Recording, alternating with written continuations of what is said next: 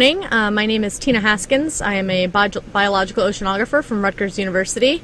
I want to give a little bit of a shout out to the Cool Room. I believe that they're listening right now.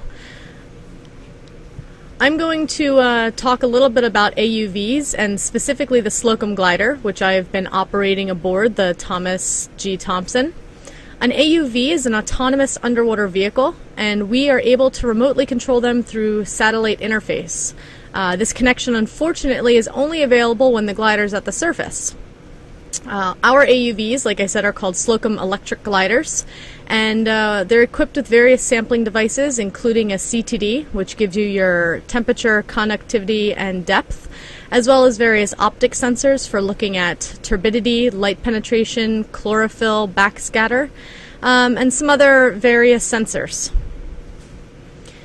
In front of you, you're looking at a uh, view of a Slocum glider completely taken apart in, in its various pieces. Uh, some of the important pieces that we'll go over, starting on the left, is uh, where you see that sign for altimeter, is the front section of a glider.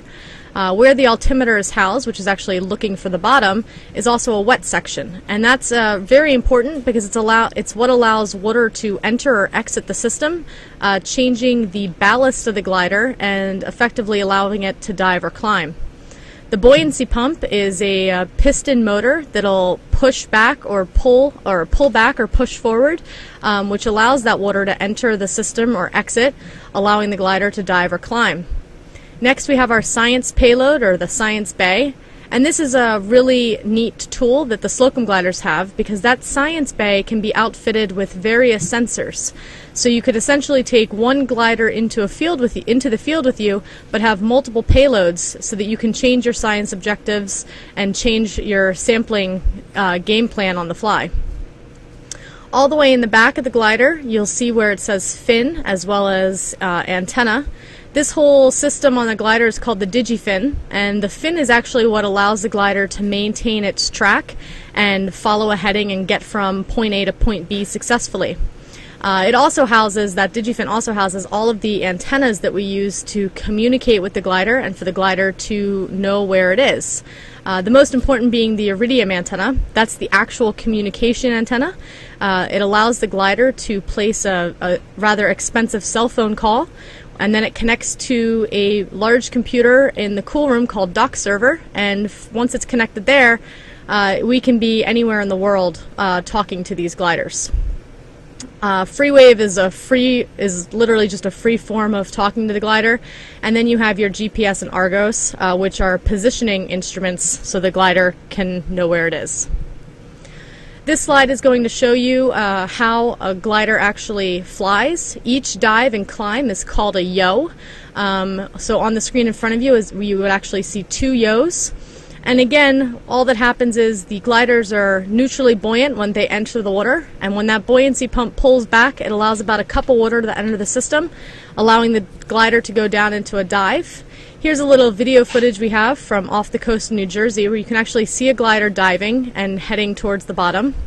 Unfortunately, this one actually hits bottom before turning around and coming up into a climb. Uh, ideally, that doesn't normally happen. And uh, shortly in the background, you can see a second glider entering the picture. And this one does a very nice dive and is now inflecting and heading back up into a climb. And again, this is all accomplished by uh, just a change in buoyancy from that buoyancy pump. Here we have uh, some video footage of the actual deployment that we did of RU-25, which is the glider that I brought on board with uh, Thomas G. Thompson. Uh, this we use small boat ops because it's a lot easier to control the glider staying away from the boat than accidentally getting sucked under it, which would potentially be catastrophic.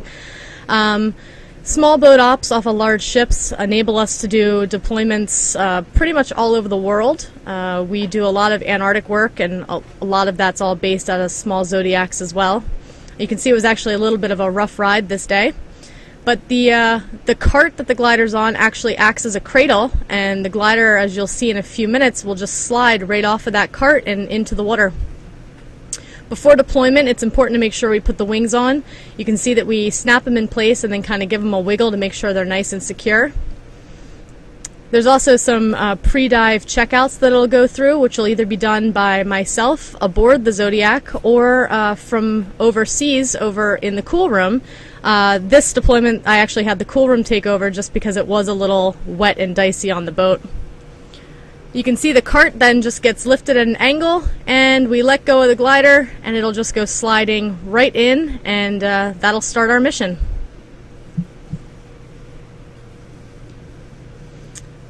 And like I said, we'll then hang out on location and uh, wait a little bit to, make sure that our test dives go well.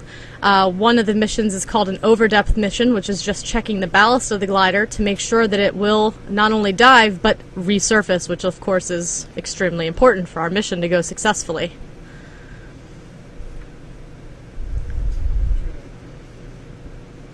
Here we have uh, the day of the recovery. Uh, the glider was a, that we deployed was a thousand meter glider, so it was consistently doing yos from zero to a thousand meters. This is what we call a deep glider. Uh, our glider was only equipped with a CTD for this mission, uh, but it con- collected that data continuously during the eight days it was deployed. And um, all of that data, once we get it back, is housed live on our websites. So you can see uh, on the day of recovery, we go up into the bridge, and I'm standing in front of my laptop because I can actually, once I pick up the glider on FreeWave, which is that free version of talking to the glider, uh, I can directly interface with it. And during recovery, I'll stand up there and uh, literally type the word where, and it'll give me back its exact latitude longitude. And you can see we had a couple spotters uh, on the bridge who were helping look for the glider to make sure that we're not either going past it or that it's directly in front of us. Uh, once the glider uh, once the glider was in sight, we again lowered the small boat and did uh, small boat ops and just pulled it back on the boat and came back and called it a day. One thing that was really neat about this deployment was even though it was only out for eight days, we did accumulate a little bit of biofouling. When they glider came back on the boat, we noticed these tiny black specks all over it. And uh, Leslie actually collected a bunch of these samples and we put them under the microscope. And this video that you're watching is what we saw. These are uh, barnacles in their larval state, and this was really neat footage for us to get because we've we've collected biofouling before, but it's always been once they're full grown barnacles. Uh, so it's really neat to have some evidence of them in a younger stage and how they start to actually collect and build up on the glider. And uh, that's pretty much concludes my uh, spiel on Slocum gliders. Uh, you can see the RU COOL website listed below. Uh, we have all of our data housed there coming into the Coastal Ocean Observation Lab, including uh, other various glider missions that are currently going on. So I urge you to uh, check out the website and uh, follow along on some of other, our other adventures, as well as listening to the blogs and things of that sort. So thanks and have a great day.